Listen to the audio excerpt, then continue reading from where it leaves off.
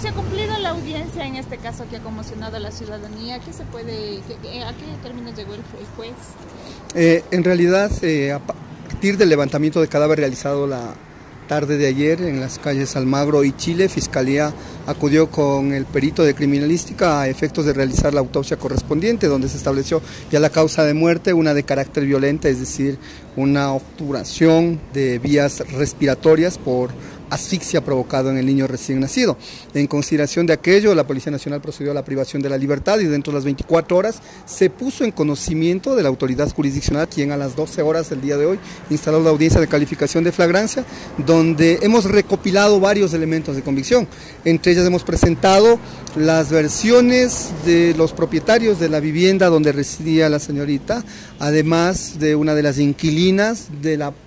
persona encargada de la tienda de abastos del lugar donde se localizó al recién nacido, entre otras experticias que nos ha permitido a Fiscalía sustentar el inicio de la etapa de instrucción y solicitar como medida cautelar la prisión preventiva, siendo en consecuencia el plazo de duración de esta etapa de instrucción el de 30 días, donde el señor fiscal de personas y garantías realizará las investigaciones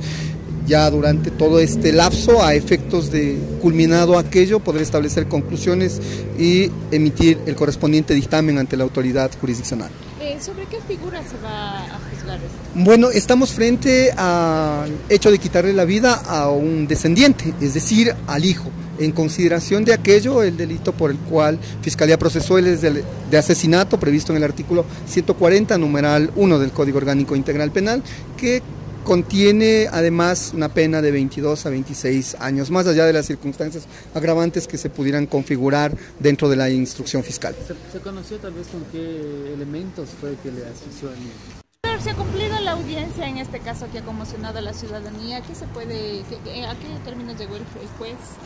Eh, en realidad, eh, a partir del levantamiento de cadáver realizado la